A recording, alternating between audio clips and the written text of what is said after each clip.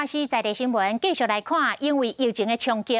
观光甲客运产业受重伤，交通部向行政院争取进行预算六十亿，今仔日通过了后，就会当来运用。其中五亿要补助公路客运，另外五十五亿要来补助观光产业。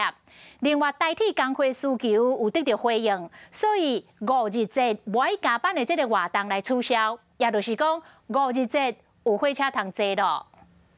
而且工会宣布暂缓端午不加班的活动啊，您讲了家和万事兴呐。对于我们运输同仁这边，我表达非常的感谢哈，他也非常的这个敬佩。好，代替五日节唔加班的危机总算解除啊，唔免像五一劳动节用绿火车来处理。主要原因是代替工会提出的四大诉求，包括安全议题、未来组合的协商。公司资产配置甲员工权益得到行政院甲交通部正面的同意，所以讲五日节愿意加班。那后续我们十六个执委是希望在年底前能够通过哈，希望啊后面不要再有呃任何的这个不加班的一个活动。那代替问题要因为疫情变成受灾户的观光产业加客运业。交通部会那么大的部会，观光、餐饮、住宿、旅游等等。我们才要六十亿啊，连十分之一都不到，所以根本不如之前主计总处讲说我们还有那么多子弹嘛。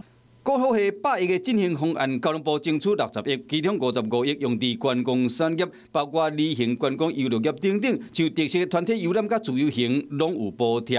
另外五亿分好客运业者，推动生态型嘅公路运输优惠，吸引人客来进。我们这次都是用振兴，所谓的振兴，就是你要组到一定的团。有人去住你的旅宿，有人到你的游乐园，哦，或有人搭你的公路客运，我们才会用这样来来做一个补助，哈，跟以前纾困不一样。六十亿进行加码预算，行政院通过后，就使开始运用。